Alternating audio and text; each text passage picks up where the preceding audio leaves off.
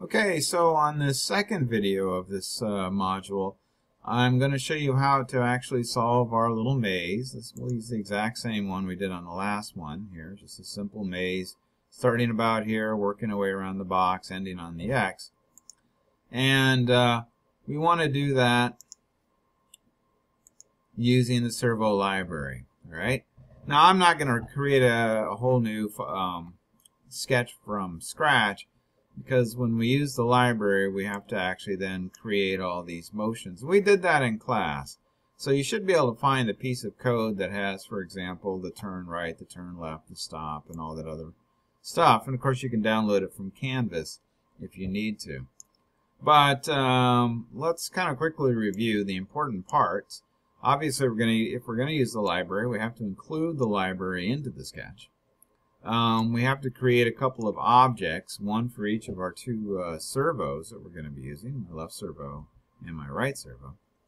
We have to attach those servos uh, at some point. You don't have to do it in setup. You can actually do it right before you need them, but we're going to attach them in setup, so they're just going to be attached and ready to go. And you're probably going to want to have um, some functions already created uh, like for example this forward, uh, which is going to pulse the left wheel at 2000, which is the maximum speed uh, that this one, which is going to be maximum speed clockwise, that uh, this servo can go. Maximum speed counterclockwise is actually 1000, but um, we know from, if you watched the last video, that my robot tends to turn a little bit. So I'm going to slow this right wheel down just a bit. So I'm going to take it to 1200 instead of 1000 and that's going to slow this down so that my robot actually goes straight. And um, let's not forget that the servo library is based on time, not distance, not pulses. So because of that, uh, well, we have to kind of rethink the way we're going to go. We have to think about how long we want to go. And another super important point is that the servo library, once I tell those motors to begin to move, it's going to continue to move even if I come across, for example, a while true statement where typically that would stop many operations. But those motors are going to continue to go until I explicitly tell them to do something otherwise, either detach them or stop them. Okay? So we created a function called stopbot which sets both of the servos to 1500, which is the dead center position on a non-modified servo, which means that in the modified servo world, though it's going to bring it to a complete stop. Okay, so both wheels will stop.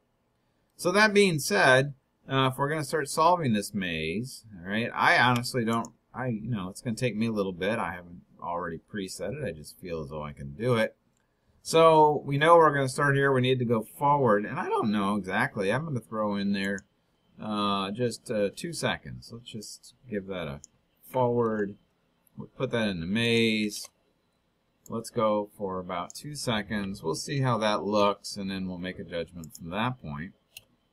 And then, like I said, even though right now, if I call maze from the loop, it's going to come down here, it's going to go forward for two seconds, and then it's going to hit this infinite true, or yeah, this infinite true, so an infinite loop, um, it's not going to stop, okay? I have to explicitly tell it to stop. So I'm going to go down here and find my stop bot. And then what that's going to do is after my two seconds, we'll stop it even for a really short period of time, let's say 10 milliseconds. Okay, and um, that should get us to a complete stop. So let's let's load this up and let's see what it does. We'll get a feel for how two seconds actually looks. And perhaps since this is the first time I restart, no, no, I guess it's going quick. We should be good. Although now I said it too soon. Let me pause it till it's actually done loading. Okay, of course that was only like two seconds after I click pause. But let's see what it does. Alright, I'm setting my robot here. Turn it on. Flashes a few times. So here's two seconds. One one thousand, two one thousand. That's actually pretty good. Um, maybe we'll go Yeah, well, actually, we'll just go two seconds. So now I need to rotate and then go forward again. So let's do that. I'll set her down here. Let's do a turn right, or what did I call it? I guess I did call it just turn right, T right. And I have no idea. Maybe we should run that one real quick. Um, I'll say 300 milliseconds. Um, we're gonna we're gonna load it and just see what it does. But we're gonna build it by chunk by chunk. Okay, until we get pretty confident about it. All right, down. It's gonna go forward. Oh, it's gonna stop. Actually, I'm not. See what I did?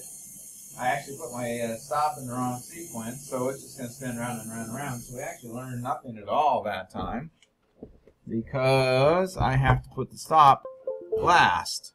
So let me move this to down here. In fact, we could actually put a brief stop between each one. That wouldn't be such a bad thing, so that way it doesn't happen again. So let me load this up. Okay, and now we should be good to go.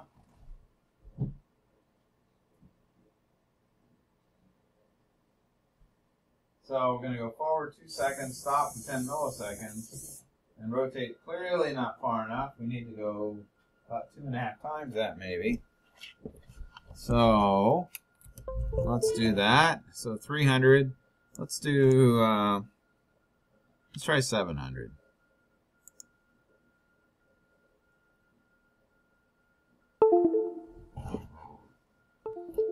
Okay.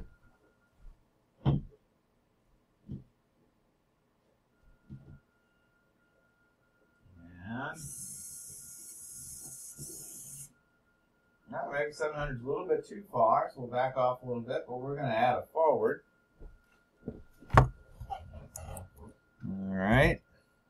And I'm not going to bore you with everything. I think I'm going to do uh, maybe one more thing, and then I'm going to pause it, and then I'll just solve it. So, forward for 600. So that actually puts us, I'm sorry, spinning for 600. Now we need to go forward.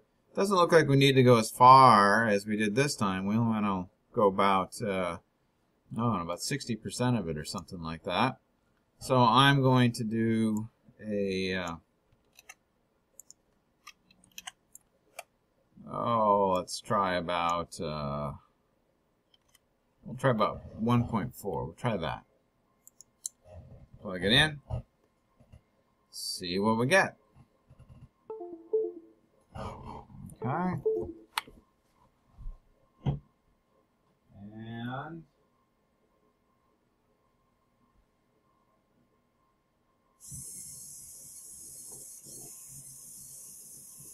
Right. Now we can actually go a little bit farther. And then we need to turn. But why don't I pause this and I'll solve it. And then uh, I'll show you what I got. Okay. So I'll be right back. Okay, so I've got some reasonable code, I think, here. And of course, there's no sensors, so it really depends on how you align it. So, well, let's see. Nice turn. Another nice turn. Angle turn. And there you go. I'm on the X. Okay? So, let me switch this around. Hopefully, um, that was useful. And here's the final code. And you can see it's a whole bunch of steps. I could probably get rid of all these stop bots here, but I absolutely have to have this one here, or it'll just uh, keep going uh, forward after that 2200 uh, milliseconds or 2.2 seconds. So hopefully that was useful, and I'll see you again uh, shortly when we do it with raw code. So I'll be right back.